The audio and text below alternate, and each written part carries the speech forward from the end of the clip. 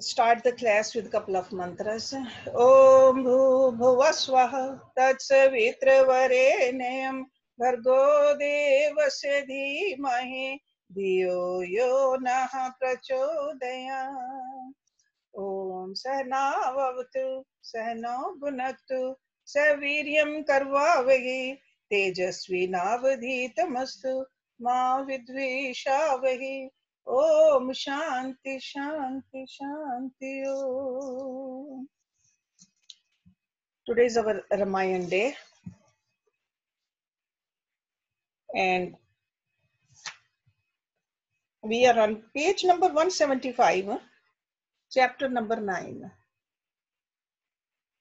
So, Shri Ram, Sita, Lakshman, they are in Panchvati, okay, in the Dandakwan.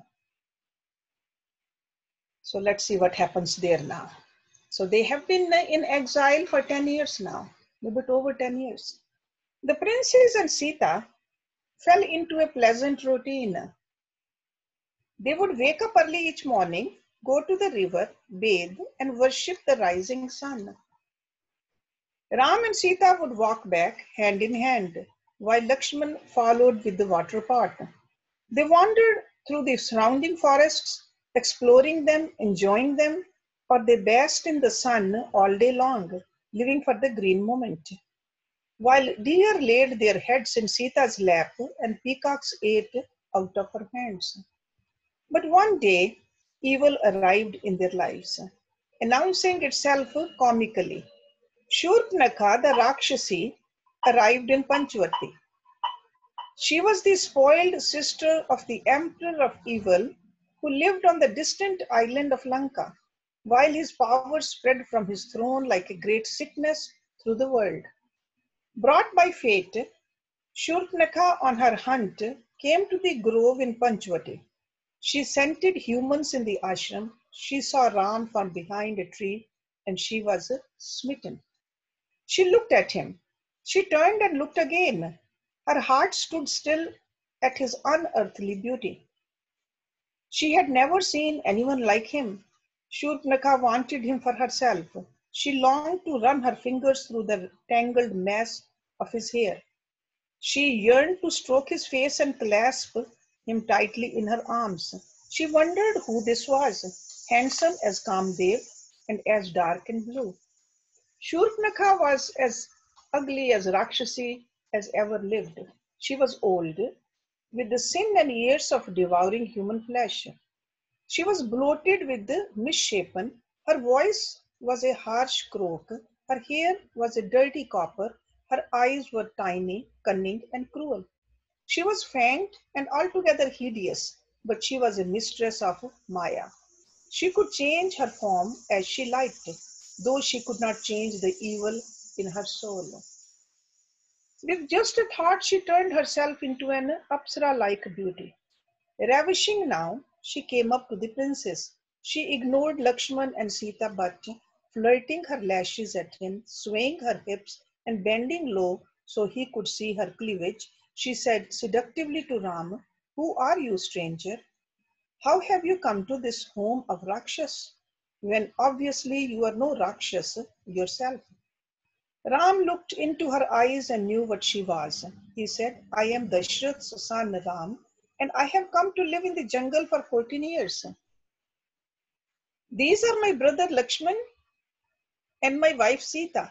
And who are you? You seem to belong here, for you are a Rakshasi, I think. She blushed, she tittered, she said, I am no ordinary Rakshasi, Ram, but you are equal in pedigree. I am Shurpnakha. Ravan of Lanka, emperor of the world, is my brother. I live in Janasthan with my cousin Sukhar and Dushan. I have two more brothers who are in Lanka with Ravan. Kumbhakaran, who sleeps all year, and Vibhishan, who is so full of dharam that he is hardly a Rakshas. She smiled at him again, but all that is beside the point, by my delectable prince. Fate brought me here, and the moment I saw you, I knew I must have you for my husband. You are the most handsome man I ever set eyes on. I have Maya, and I can be as beautiful as you want. I am powerful, Ram. I will look after you. We are meant for each other. What can this pale Sita do for you? She at best is fit to be my morning meal. And she laughed uproariously at her joke. Ram said, Exquisite Shurpanakha, I am a married man and I love this pale Sita of mine. I don't think a great princess like you could bear to be my second wife. But my brother Lakshman is alone. He is younger and fairer than I am. He will make the perfect husband for you. Marry him and you will have him all to yourself. Shurpanakha turned to Lakshman. She saw he was handsome and strong too. She saw the muscles rippling on his arms and his chest. She switched her attentions to him. Caressing the younger prince's face, the Rakshasi said, Lakshman, we shall be happy together in the Dandakwan. Let us be married. Charming Kshatriya, ah, you are so sweet. Let us be lovers. But Lakshman protested, I am only my brother's man. How will a princess like you be happy married to a mere servant? You should coax my brother a little more. Persuade him with your Maya, Shakti. Better that you be his second wife than my only one. Woo him, lovely Shurpanakha. He will leave his pale princess for you. Shurpanakha saw the wisdom of what Lakshman said. She turned back to Ram. You spurn me for this limp hag of yours. I will eat her and then we can be happy together. With a roar, she rushed at Sita. Just in time, Ram sprang up and caught her. Quick as thinking, Lakshman drew his sword and cut off his ears and her nose. So dark blood spouted from her. Screaming in shock, a demoness again, Shurpanakha fled into the forest. The brothers dissolved in mirth, but Sita trembled. Though she said nothing of it, she had a powerful premonition of evil as if already upon a distant throne. She sensed a malevolent emperor, a terrible being who turned his baleful gaze on them across vast spaces. Howling like a storm, Shurpanakha fled through the Dandakwan. Birds and beasts scattered at her passage. Clutching her face, she went, roaring and shrieking, while blood gushed through her claws and splashed onto her thick feet. Through the dim jungle she flew, all the way to Janasthan, the city of Rakshas. She fell in a heap before her cousin Khar, demon king of the forest. When he saw what had happened to her, Khar roared louder than she did. Like some great serpent, he hissed, Who has done this to you? Who courts his death so fondly? Who has tied a noose around his own neck? I will drink his blood today, and vultures and kites shall have his carcass to feed on. Tell me, Shurpanakha, which Dev or Daitya has been such a fool? Shurpanakha sobbed inconsolably for a while.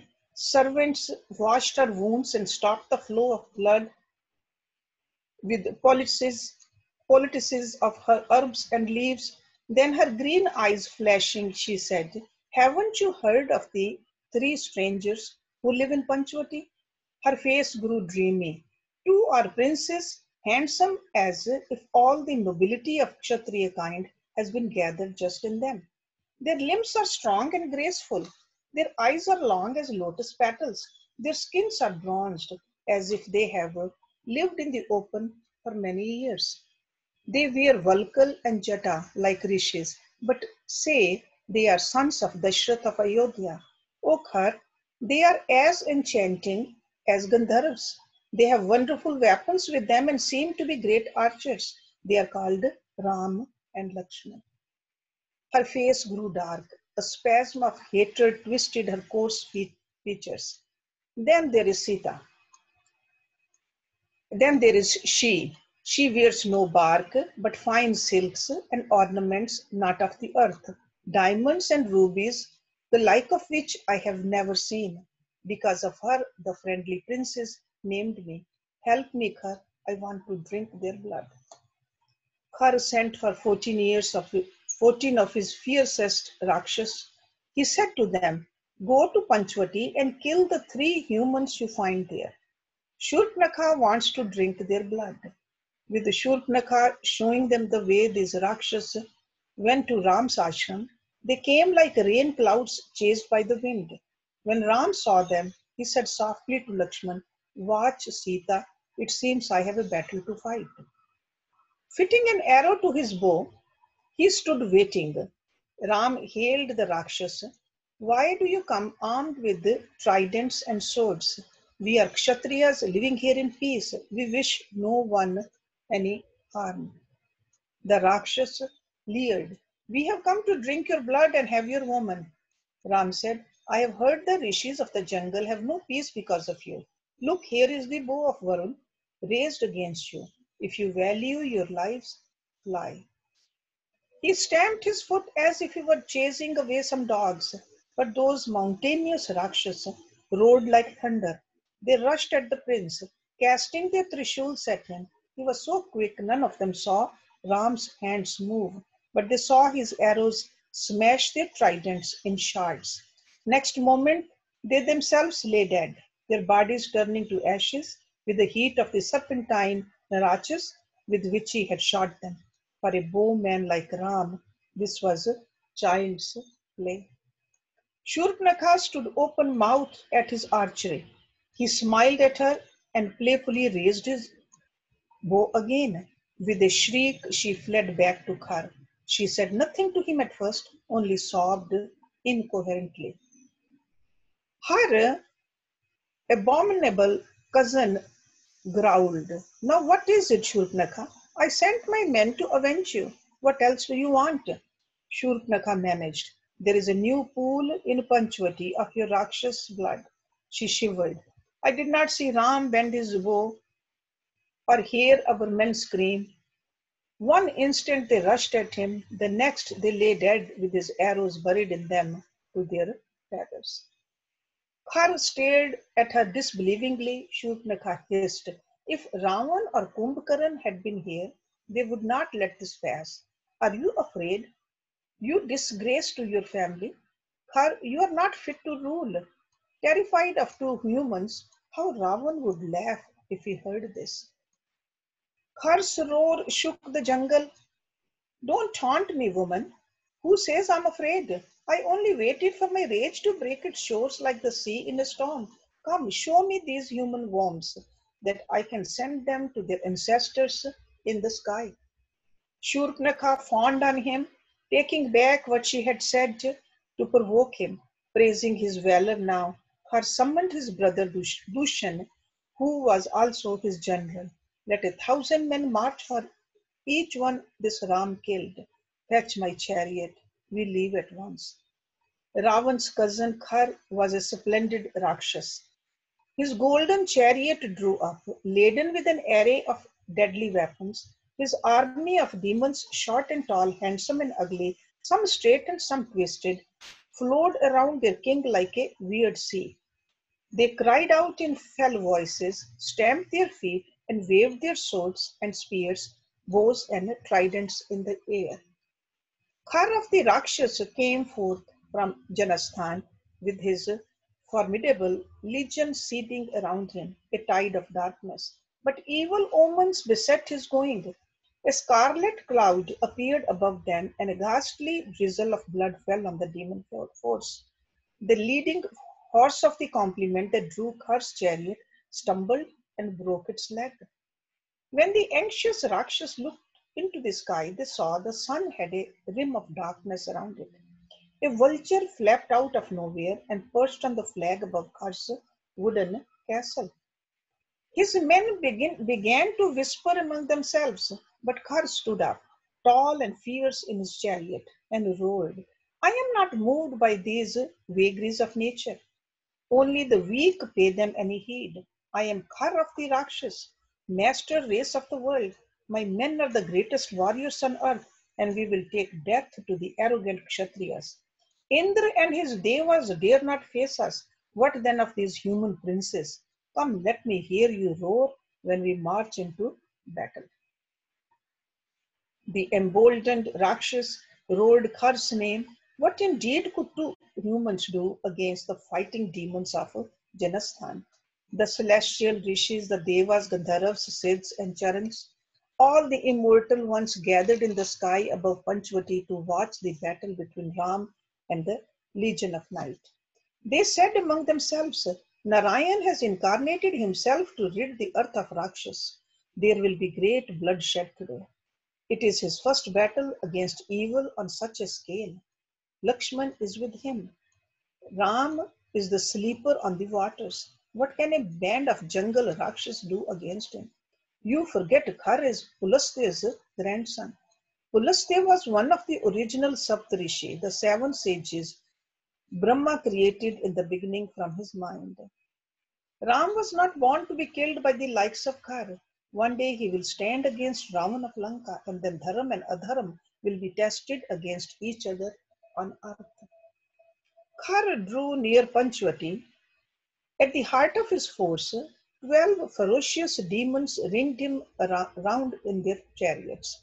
Enormous Mahakapal, Shuthulksha, Pramathi, and Trishrish rode behind the legions, and Dushan rode at its head.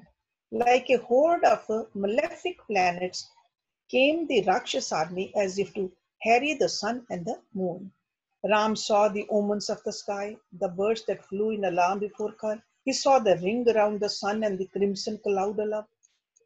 Varun's bow hummed impatiently in his hands. Ram cried to Lakshman, My right hand throbs, my arrows are smoking in their quiver. I feel as I did when Parshuram stood before me. But we must be careful, Lakshman, and today I must deprive you of the pleasure of battle. Take Sita up to the cave on the hillside. We must be on our guard against Shurpanakha. Ram watched them leave he strapped on his armor light as the breeze. As he strung his bow, the power of that weapon surged through him. His astras heart in their quiver, Ram stood like Shiva before he raised Daksha's yajna. Khar arrived in Panchvati.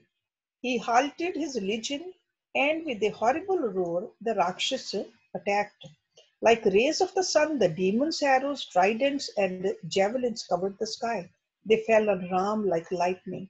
The prince was struck but not never wounded because his thin kavach was magical. Then he replied, His arms were a blur, so even the devas and rishis above could not see them. Like mortal thoughts, his arrows flared at the Rakshas and they fell in swarms, hardly knowing how they died. Ram strung his bow with astras Nalik, Narach, and Vikrani blazed star fire at the shocked demons. They could not bear the fear those missiles threw and fled back to Khar, some of them screaming, others whimpering like children. Astounded by Ram's valor, Khar rallied his people and advanced himself. Collecting their scattered courage, teaming around their king, the Rakshas charged Ram again. But quick as wishes, he drew a Gandharva Astra from his quiver and chanting its mantra, shot it at the demon army. The Rakshas saw a blinding fireball flare at them through the sky. The unearthly weapon broke, whistling among them. The Astra separated into a thousand arrows of fire and light. Ram's shafts filled the quarters. They turned into serpents with the heads of flames, fell on the howling demons, one shaft for each Rakshas, and not an arrow, but it took a life, consuming the fiend it struck, making ashes of him. Sudden desolation overtook Khar's army. Then Dushan plunged out of the ranks like streak lightning in his black chariot. His fangs were bared. Myriad sorceries flashed around him to show he was a Rakshas with great powers of Maya. Dushan's demons, the occult phalanx of Khar's army, rushed at Ram. They cast their spells at him, flaming trees, rocks that exploded over his head, disgorging a thousand other sorceries and fire spitting serpents. Dushan barely saw Ram raise his bow, or the four arrows that flew at him in the heart of an instant. They cut down his chariot horses Another blinding shaft killed his charioteer.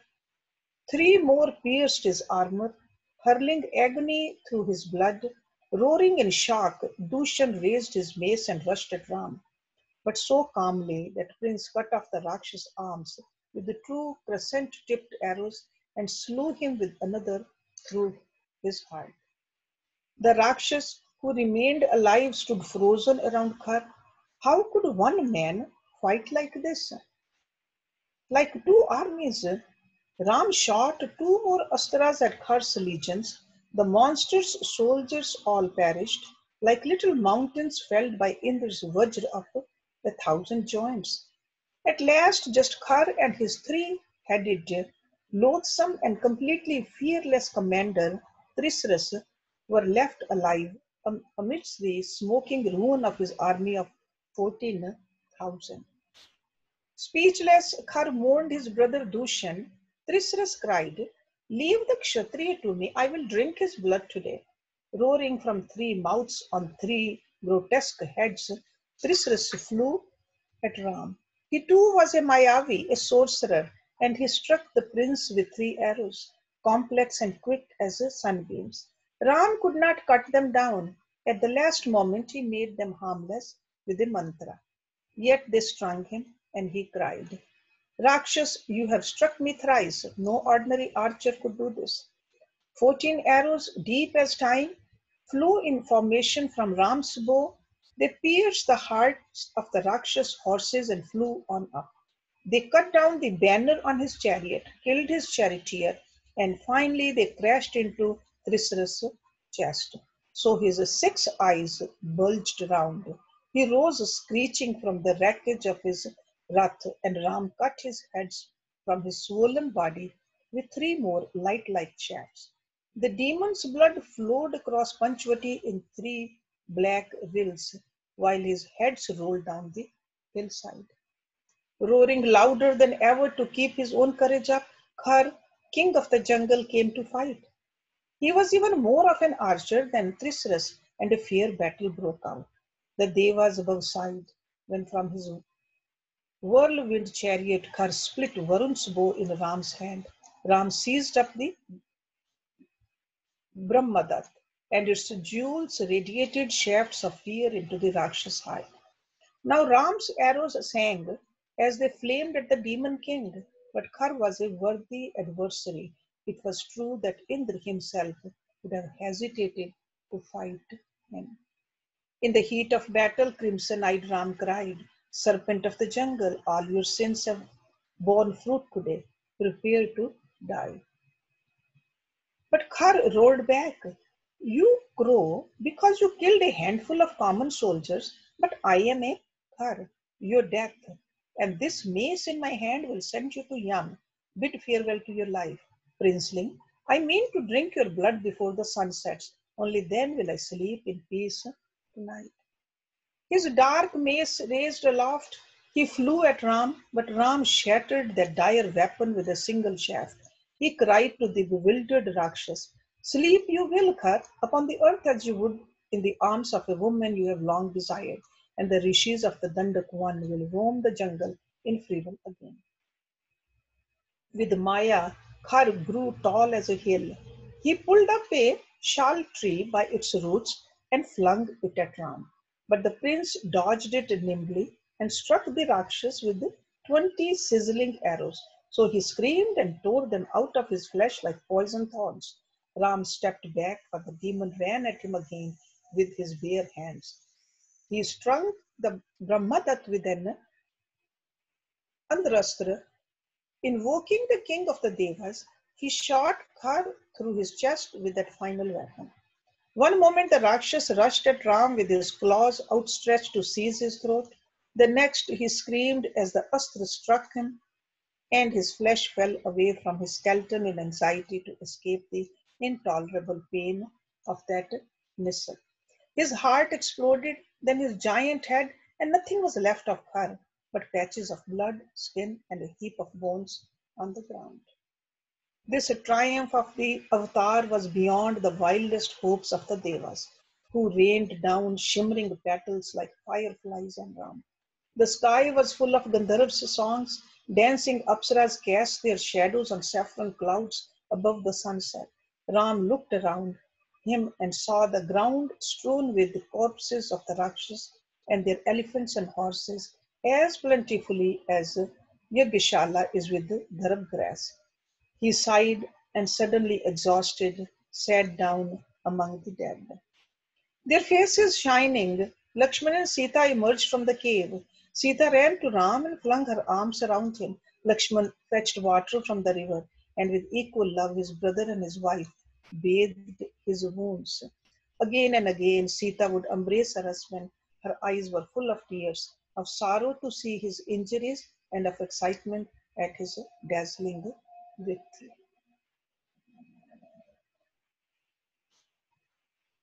Any question? So after each chapter, we'll definitely, it was a long chapter, so uh, we'll stop and then if there's any question or a comment, we'll take that before we start the next one. Okay. But you can see that uh, how fierce uh, that fight was.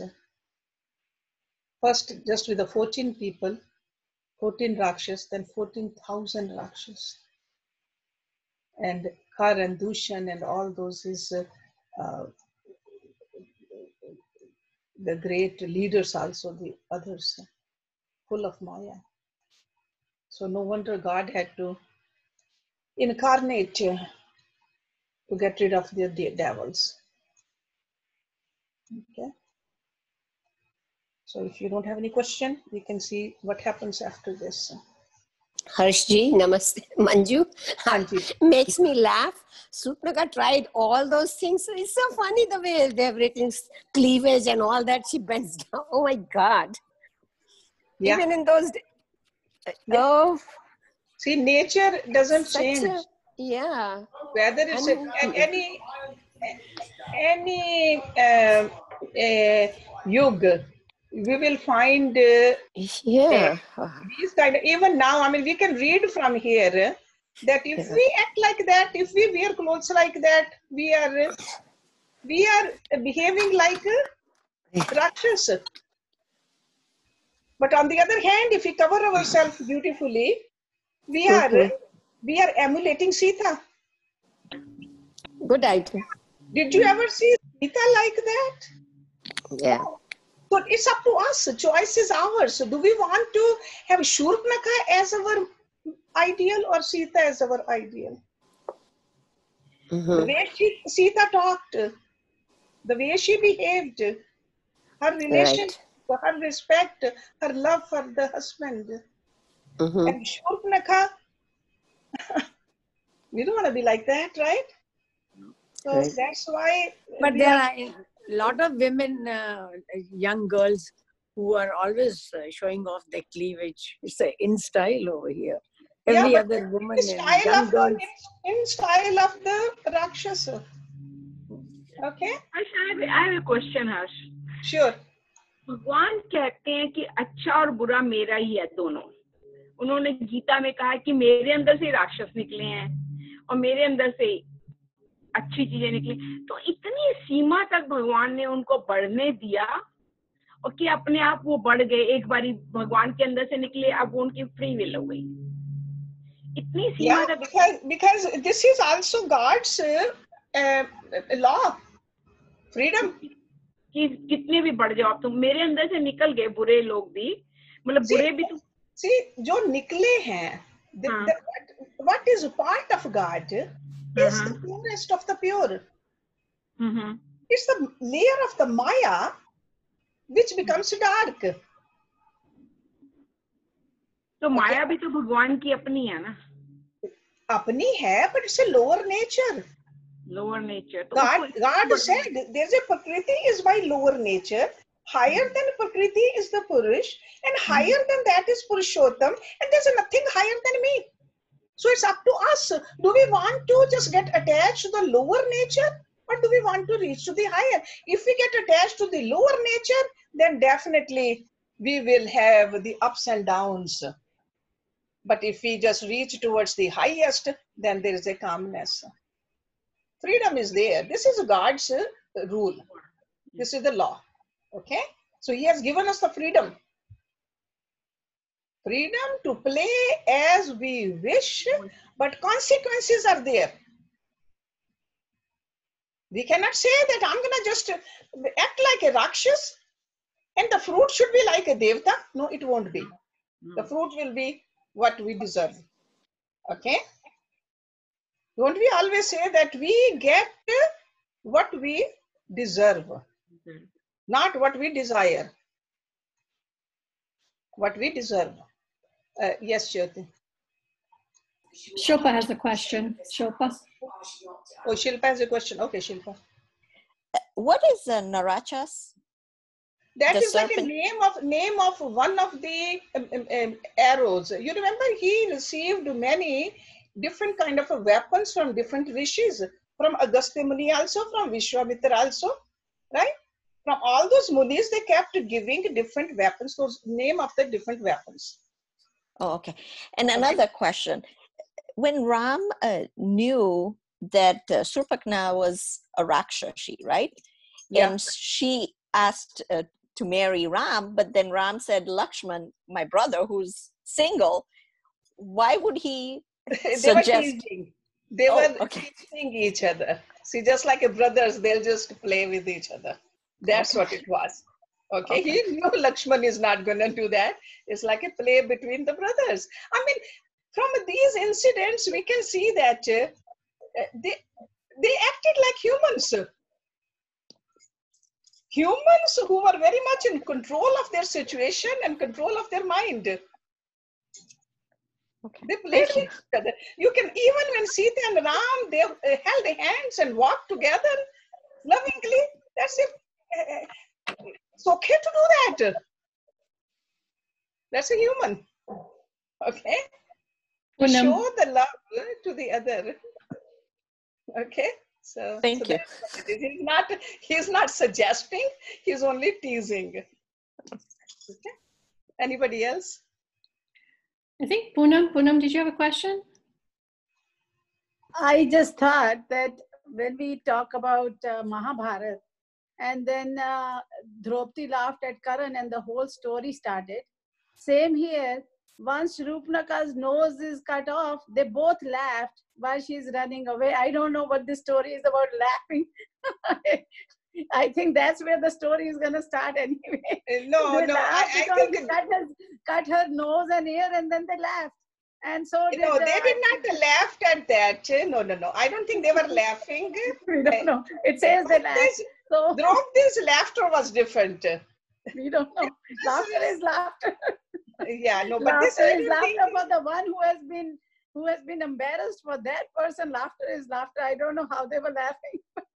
Yeah, okay. but I don't think it's even if they wouldn't have laughed, Shurpanakha was going to go back to his cousins and the brothers afterwards because she just wanted Ram so badly. She thought that she can have anybody. You know, and then when she got insulted, so cutting a nose and the ears, that means she got really badly insulted. Okay, so so now let's yeah, we do have time to read next one also.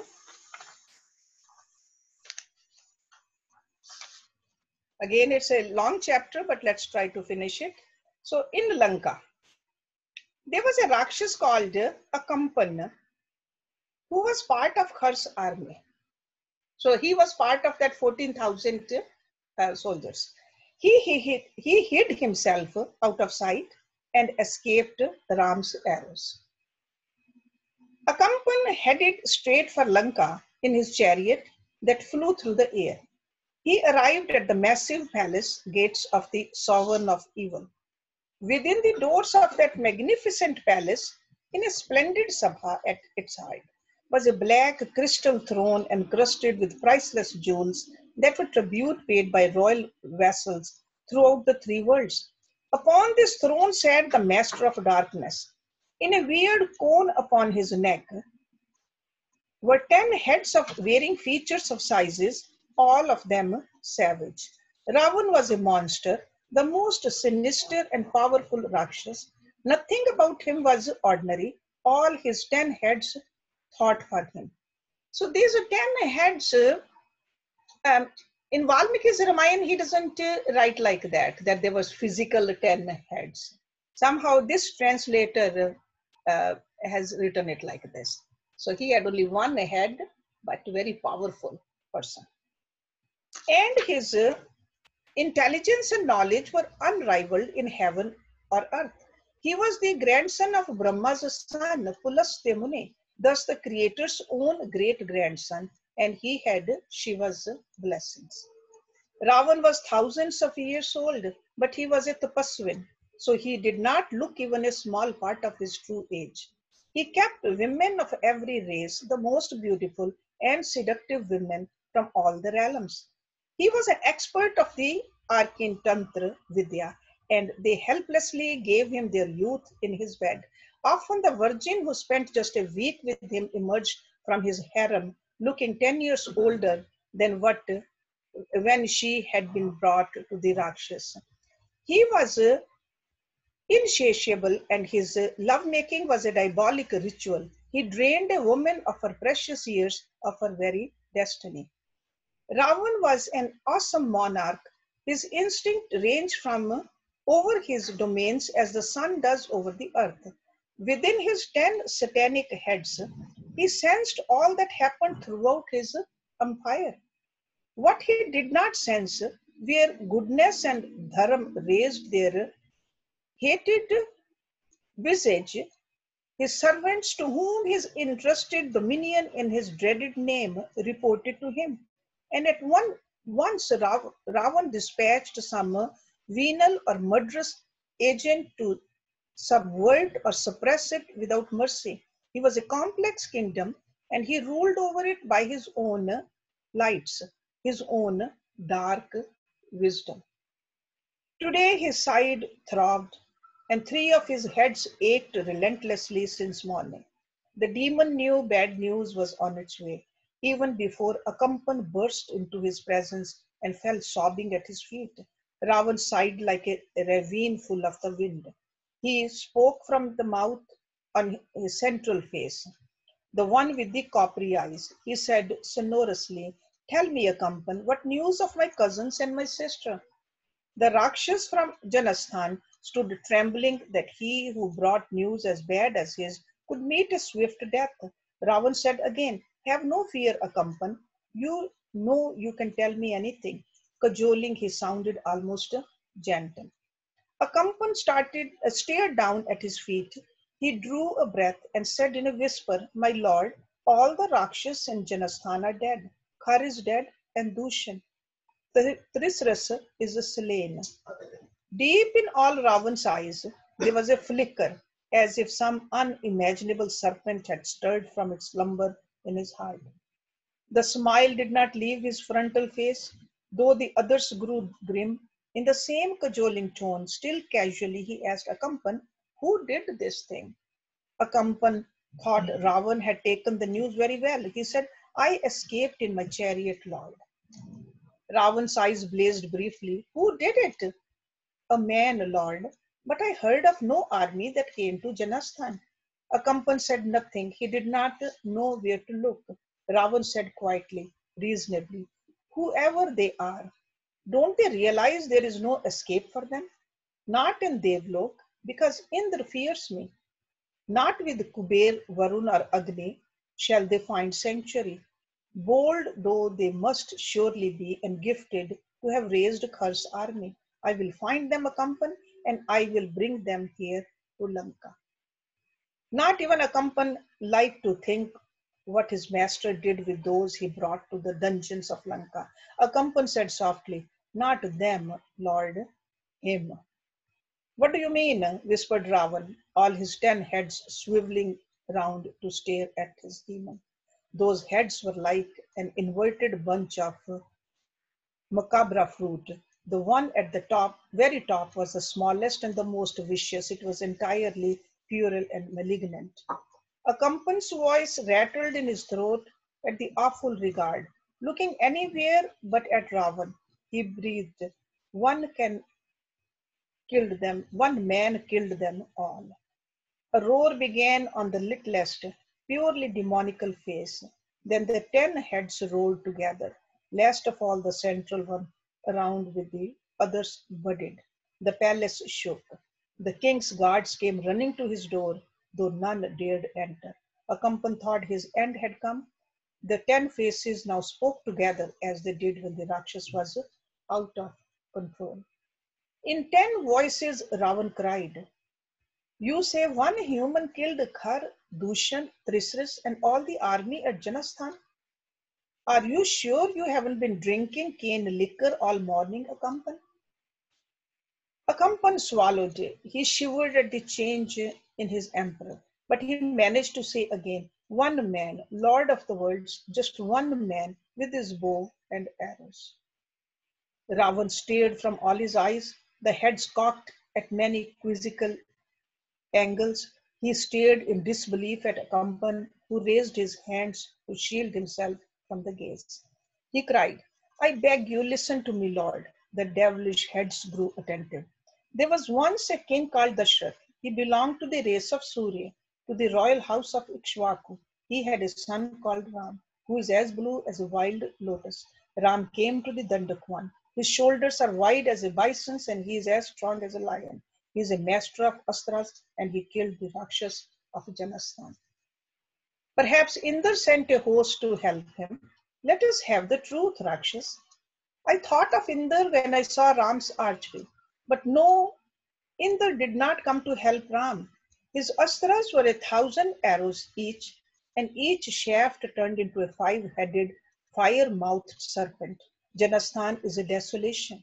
Those of us who survived, the handful who fled, have no sleep anymore, for Ram's face haunts our dreams. I believe he has a brother called Lakshman, who is his equal, but he took no part in the battle. Ravan sighed like the north wind on the mountain top. His lips curled, fangs flashed at the corners of his mouth. He rose and crossed to his bay window, which looked out over the turquoise sea. He said softly, I will go to Janasthan myself to kill these brothers. Oh no, before you do anything in haste, listen to what I have heard about this Ram. He can hold up a river with his arrows. They say if he wants, he can extinguish the sun and the stars with his astras. He can raise the earth out of the sea if it is submerged or plunged into the deeps of breaking the bounds of the world. All the rishis say that he is Vishnu come as a man. He shone like a god when he stood facing our army. army. He was a blue sun and he killed 14,000 Rakshas as they were small children before him. Akampan had been thinking feverishly on his way to Lanka to save his skin as the bearer of the news he brought. Ravan was about to speak, but he saw the light of an idea in his Rakshas eyes. Finish what you were saying, Akampan. It would be foolish, my lord, to engage Ram in a duel, for you could not be certain of the outcome. But there is another way. He paused and saw he had his master's interest. Ram has a wife called Sita who followed him into the forest. She is exquisite.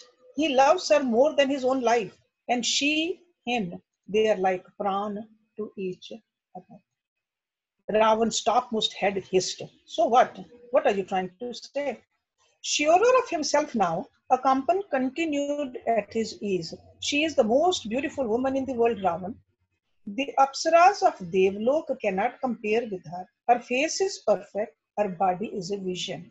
Say what you have to quickly, fool, said the monster of Lanka. Akampan blurted. If you were to abduct Sita and bring her here secretly, Ram would die pining for her. The nine heads mulled over this, whispering sibilantly among themselves. Then, in surreal chorus, they grinned horribly, and all together they bobbed up and down, endorsing a Akampan's idea, delighted with it. Ravan's main face smiled, showing four rows of fangs. I like your plan. Tomorrow at sunrise, I will fly to the Dandakwan myself to bring Sita back to Lanka. Akampan bowed deeply and left the presence without turning his back on his emperor. Ravan stood at his window for a long time, staring across sullen green waves. Then he turned back to his duties and pleasures of the day and to his endless study. The Rakshas was a profound scholar. He retired early that night and he ordered no woman to come to him. He soon fell asleep, the eyes in all his heads shut fast. The next morning, before the sun rose, Ravan sat in the strangest chariot.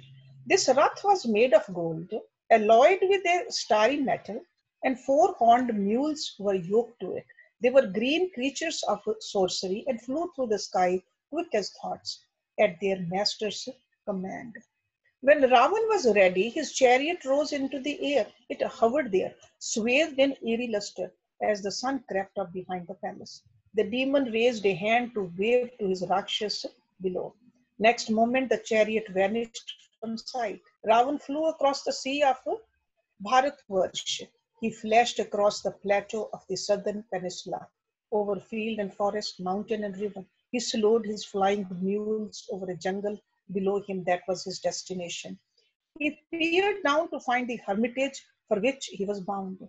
Quite soon he spotted Marich's ashram. Its wood fires smoke curled into the sky with a command that was just a potent thought. Ravan flew down smoothly as a bird and alighted in the glade where the Rakshas Marich, now turned a rishi, sat in dhyan. It was the same Marich whom Ram had once doused in the sea with the Manavastra. Marich was Ravan's uncle. He gave a cry of welcome when he saw who had come to visit him. Quickly he laid out a darbasan for the emperor and set a bowl of fruit before him. Marich was older than he, and Ravan paid proper, if somewhat hollow, obeisance to him before he settled into the grass throne. Marich blessed him and said, What a pleasant surprise, nephew. Something important must bring you to my ashram. Tell me, what has happened? Ravan looked away from Marich. He gazed at his humble hut he gazed at the tree under which it was built, on which the wildflower garlands of worship hung. He took his time to begin and then said, Uncle, did you know that all my Rakshas in Janasthan have been killed? Kharadushan and all the rest, the entire army has been razed. He drew a talon eloquently across his throat in a day.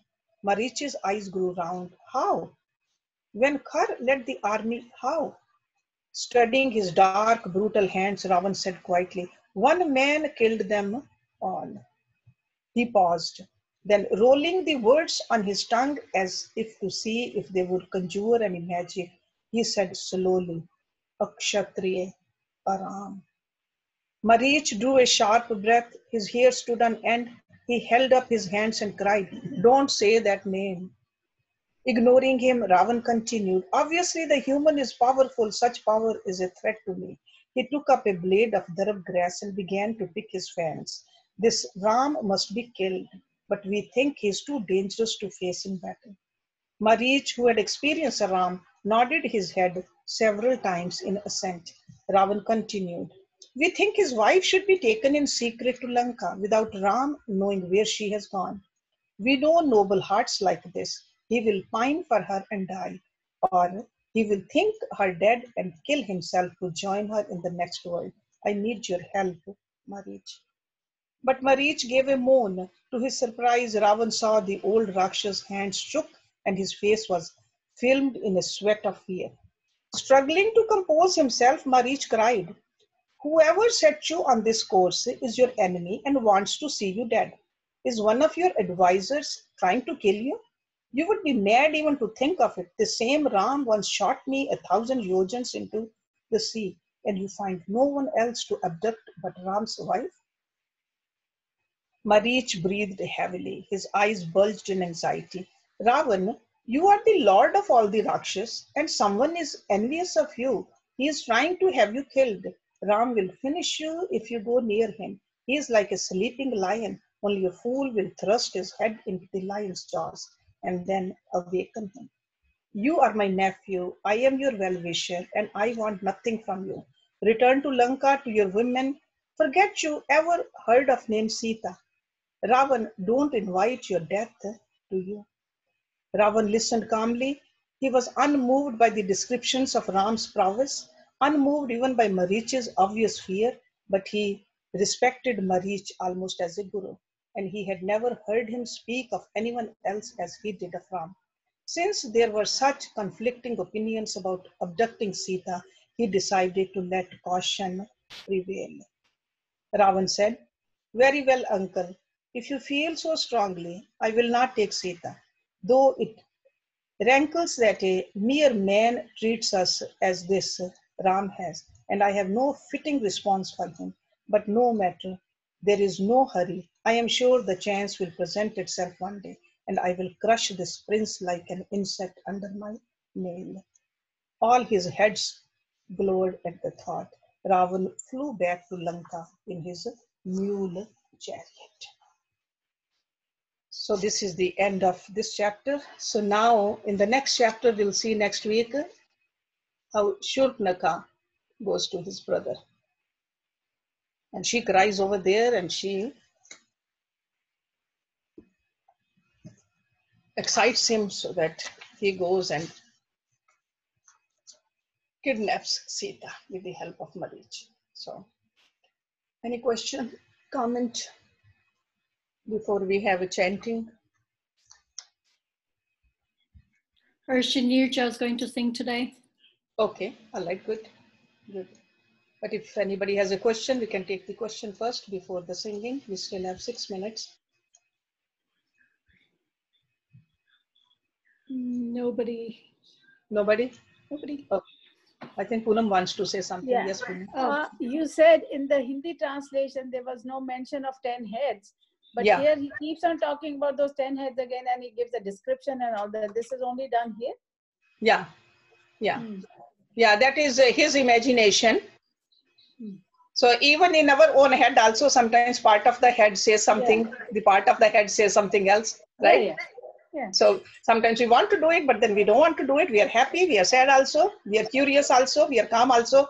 So because he his head was so big, in a way he was so arrogant also. You can say any you can read any way you want to. But these ten physical ten heads, there's no description of that. Uh, uh, in, in this one, but then Tulsidas does it when he does the uh, the other one, the other Ramayana. We have 10 heads in that then. yeah, yeah, they, they, they, yeah, yeah. Some, some, but we are trying to follow the Valmiki's Ramayan. So Valmiki Ramayan, um, uh, they do say um, uh, they use the word "thus grieve," but but "Dashgriv" was just a name for Ravan, Yeah.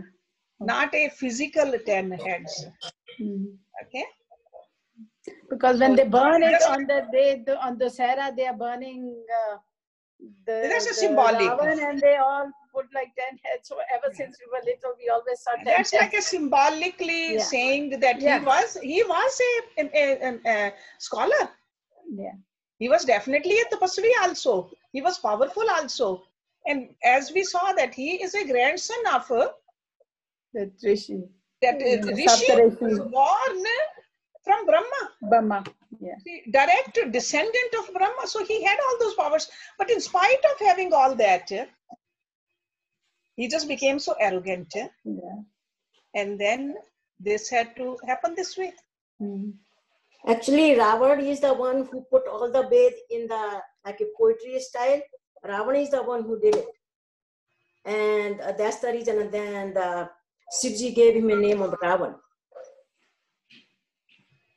जो रावण था ना उसको उसने वेदों को भी अपने हाथ से वो किया है मतलब उसको लिखा है पोइट्री रूप में सितार के साथ में उसने लिखा है दैट्स द रीजन सब जो पोइट्री में है ना वेद वो रावण के द्वारा किए गए हैं मगर उसको अहंकार बहुत था इसकी वजह से उसका यह नाश हुआ So he I was he was wise.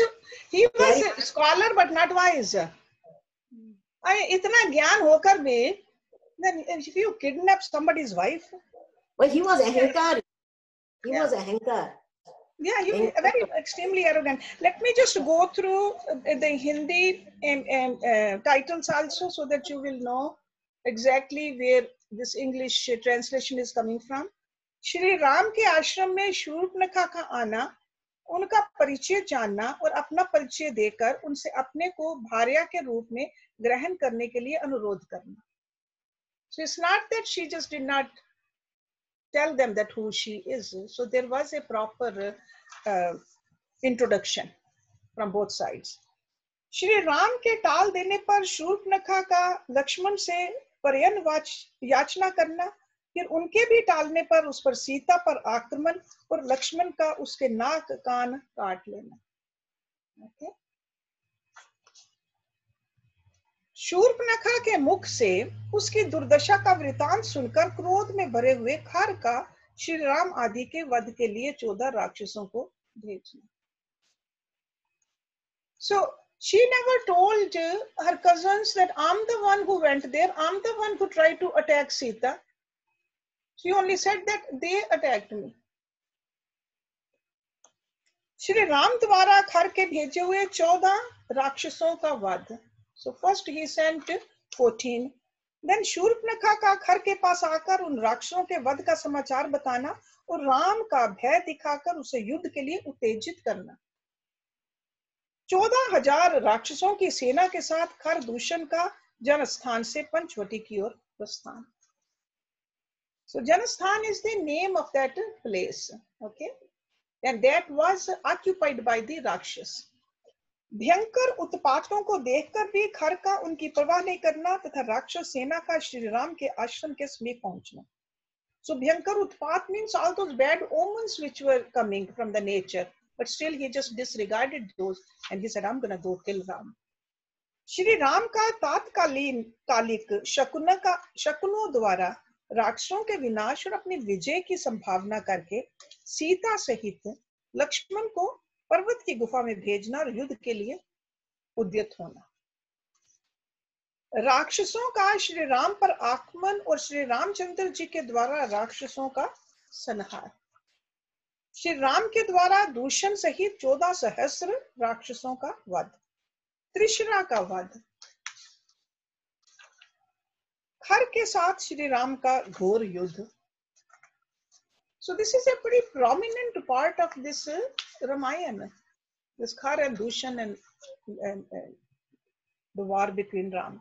Shri Ram का खर को फटकारना तथा खर का भी उन्हें कठोर उत्तर देकर उनके ऊपर गदा का प्रहार करना और श्री राम द्वारा उस गदा का खंडन श्री राम के व्यंग करने पर खर का उन्हें फटकार कर उनके ऊपर साल वृक्ष का प्रहार करना श्री राम का उस वृक्ष को काटकर एक तेजस्वी बाण से खर को मार गिराना तथा देवताओं और महर्षियों द्वारा श्री राम की क्वेश्चन रावण का अकंपन की सलाह से सीता का अपहरण करने के लिए जाना और मरीच के कहने से लंका को लौटाना। Okay so we read it up to there so we can see that this part is right that Ravan goes to Marich first and Marich says don't do it and Ravan comes back because sometimes we don't see this part when it's uh, uh, played in the uh, those videos which we watch sometimes okay but but but he did listen to marich but then shurpnakha is going to go and then uh, she's going to cry at his shoulders Hershji, yes uh, everywhere they have used this 14 years and 14 army and 14. Is there any significance of this number 14 for any reason?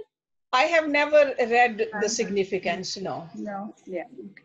so there must be i mean Maybe it was a popular number. What do you mean? popular number and it was supposed to be like that yeah but now we'll see see next week shurpnakha ka lanka mein ravan ke paas jana so sometimes she just stayed there and then after that she said okay all right now i got to i'm ready to go to my brother and excite him so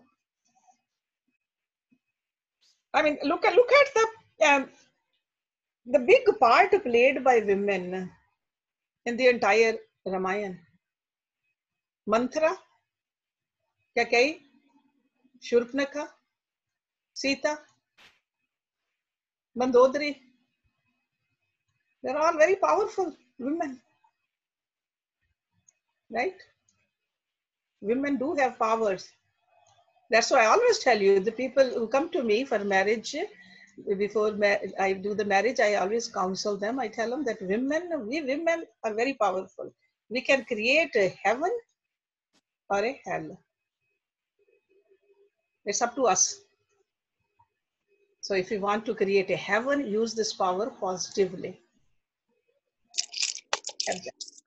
All right, let's just have a uh, Raj, I have one quick question. sure Raj. Same author Ramesh Menon, we've had issues before about the authenticity. Like this time, he's talking so much about the 10 physical heads. I know. And before he did that uh, with them, I think bringing some meat or killed. Uh, Yeah, the translation of that, yeah, he said that uh, they sacrificed uh, the meat uh, for their, uh, uh, when they built the kutia and before yeah. entering of the kutia, they did that. Yeah, that's right. That was wrong too. So that's why I always uh, go back to this Valmiki's Ramayana and tell you the part, most of the part he's okay. But some places, yes, he has. So once we are done completely, then maybe I'll send him a um, little uh, letter. Yeah, because I'm curious how he's Yeah. getting his Yeah, information. let- exactly. Let's go through the whole book and then maybe we'll, we'll I'm keeping notes of that. Okay, Yes. thank you. Yes.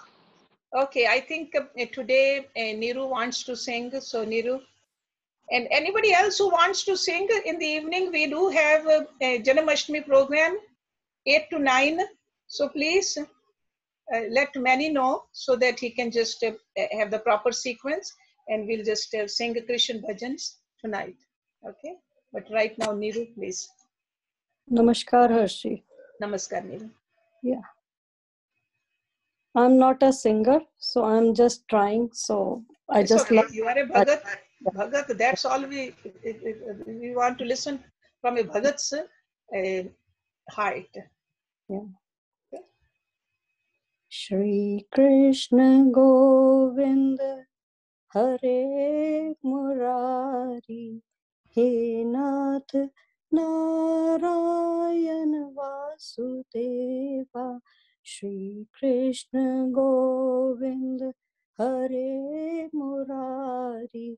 हे नाथ नारायण वासुदेवा, पितमात स्वामी सखा हमारे।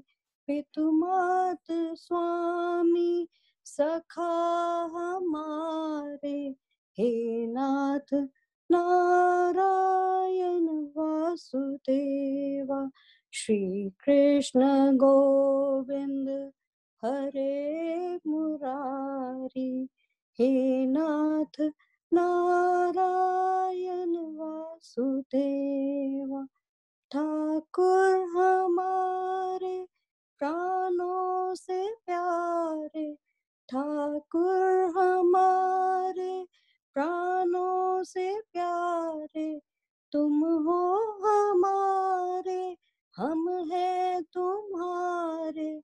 हे नाथ नारायण वासुदेवा, श्री कृष्ण गोविंद, हरे मुरारी। हे नाथ नारायण वासुदेवा, गैया चरैया, माखन चुरैया, गैया चरैया, माखन चुरैया, दीनों की नैया के तुम हो खेवैया हे नाथ नारायण वासुदेवा श्री कृष्ण गोविंद हरे मुरारी, हे नाथ नारायण वासुदेवा। गोविंद मेरो है, गोपाल मेरो है, गोविंद मेरो है, गोपाल मेरो है श्री बांके बिहारी, नंदलाल मेरो है। श्री बांके बिहारी, नंदलाल मेरो है। श्री कृष्ण गोविंद, हरे मुरारी, हे नाथ नारायण वासुदेवा। श्री कृष्ण गोविंद हरे मुरारी, हे नाथ नारायण वासुदेवा, अग्नि पवन और सातों समंद, तुमसे है धरती और तुमसे अंबर, हे नाथ नारायण वासुदेव श्री कृष्ण गोविंद हरे मुरारी, हे नाथ नारायण वासुदेव। गोविंद बोलो, हरि गोपाल बोलो, गोविंद बोलो, हरि गोपाल बोलो। गोविंद बोलो, हरि गोपाल बोलो। राधा रमन, हरि गोविंद बो। गोविंद बोलो, हरि गोपाल बोलो। राधा रमन, हरि गोविंद बोलो। हे नाथ नारायण वासुदेवा श्री कृष्ण गोविंद हरे मुरारी, हे नाथ नारायण वासुदेवा श्री कृष्ण गोविंद हरे मुरारी, हे नाथ नारायण वासुदेवा। जय Shri Krishna Thank you, Neeru. Beautiful. Beautiful. Thank All you. right. So, uh, Jyoti, you can unmute everyone.